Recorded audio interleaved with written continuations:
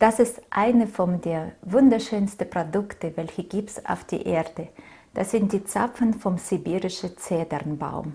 Die kommen direkt aus Taiga und wie du siehst, die schauen schon ganz anders als andere Zapfen vom äh, Zirbel und äh, andere Tannenbäume.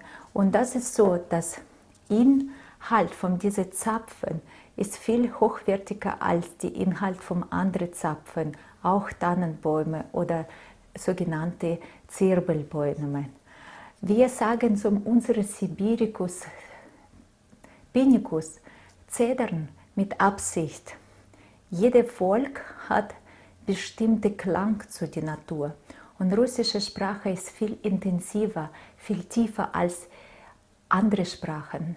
Jeder Buchstabe von uns, die ist so energetisch, vom größten Bedeutung, dass die Zedern in sich, diese Aussprache, der verankert so tief mit dem Wurzel, russischen Wurzeln, mit russischen Wurzeln.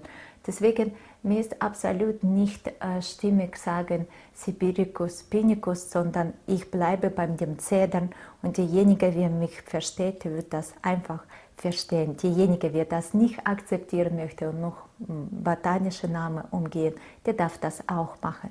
Okay, was können wir mit diesem wunderbaren Zapfen machen? Auf erster Stelle, die Energie vom Zedernuss behält die Zapfen viel besser, als wenn wir die Zedernüsse geschält bei uns aufbewahren im Glas, im Gläser oder in unterschiedliche Sofaratsdosen.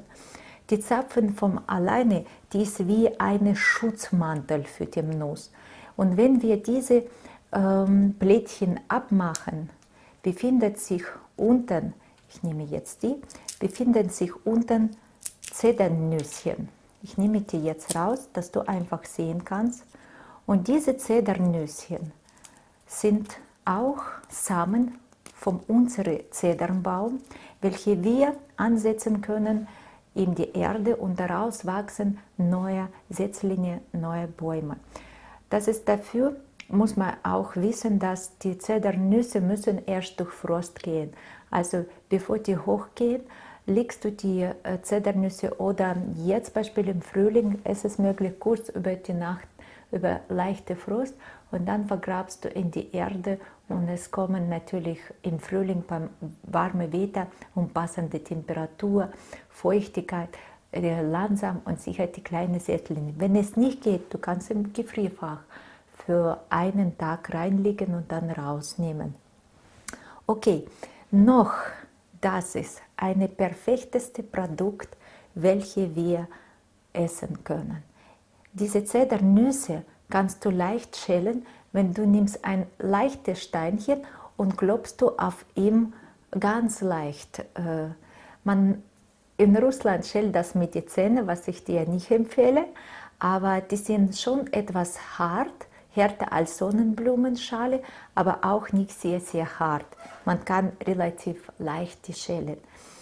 Und wie gesagt, in so einer Form, die Zedernuss äh, beibehält seine Energie und Vitalstoffe viel besser, viel intensiver. Was ist noch sehr Interessantes und Bekanntes in Russland? Diese Schwingung von diesen Zedernzapfen ist sehr, sehr hoch. Wenn du in deiner Wohnung aufstellst, die Zedernzapfen in jede Ecke deines Haus, schützt du energetisch dein Haus äh, von niedrigen Schwingungen. Es kommen Wesen, welche hohe Schwingung haben. Es kommen Naturwesen, welche dich unterstützen. Es, äh, es, die Energie zu Hause wird viel, viel leichter, viel harmonischer als zuvor. Zusätzlich diese Zedernzapfen, die duften richtig nach Wald, weil die auch in sich Harze haben, Terpine und äh, Phytozide. Und wenn wir diese Zapfen im Kinderzimmer oder im Schlafzimmer aufstellen, äh, sorgen wir für die harmonische Atmosphäre in meinem Zuhause. Aber mein Wunsch an euch alle, dass ihr vielleicht ein bisschen tiefer gehen in dieses Verständnis, wieso wir diese Zapfen jetzt hier in Deutschland bekommen.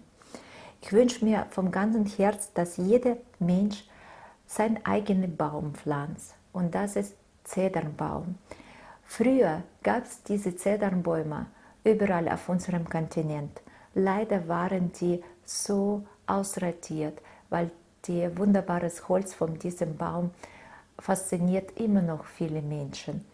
Und deswegen sehen wir in unserer Europa fast keine Zirbel und keine Zedernbäume. Nur im Taiga, in dem größten Wald der Erde, findest du diese wunderbare Gigante. Und diese Gigant, ist einfach unsere wie Mutter, die ernährt uns, die, versuch, äh, die schützt uns, die einfach bietet alles, was wir brauchen. Und deswegen, wenn du aus so einem Samen ein wunderbares Baum wachsen lässt, tust du so gutes Natur wieder zurück. Und ich denke, wir haben schon so viel genommen von der Natur und ein kleines Teil können wir wieder zurückgeben. Sei mit mir zusammen und mach diese Aktion. Setz dein Baum, dein neues Setzling, welche wird dein Familienbaum sein. Den Baum, zum welchen du immer zurückkehren kannst, auch wir freie Seele. Macht's gut.